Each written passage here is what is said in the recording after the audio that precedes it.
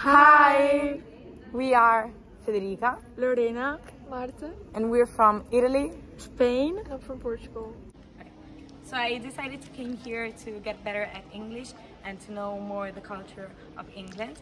And I'm very excited to meet new people from all over the world. We are excited for learn new cultures and visit London.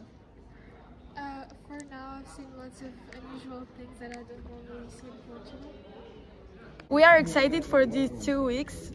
And to have lots of stories to tell. And we hope the food will get better.